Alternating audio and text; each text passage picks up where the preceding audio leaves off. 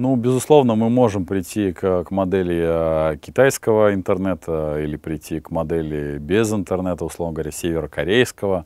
А, другое дело, идет ли это на пользу или во вред. Дело все в том, что китайцы могут позволить себе а, иметь закрытый интернет по одной простой причине. Диаспоры, которые а, расплодились по миру, а, по сути дела нивелируют весь этот запрет. У нас несколько иная ситуация. Диаспор российских нигде за рубежом нет. У нас нету такого проникновения экономического за рубежом. И поэтому вот этот эффект самоизоляции, он будет коллапсирующий. То есть мы не придем к эффекту китайскому.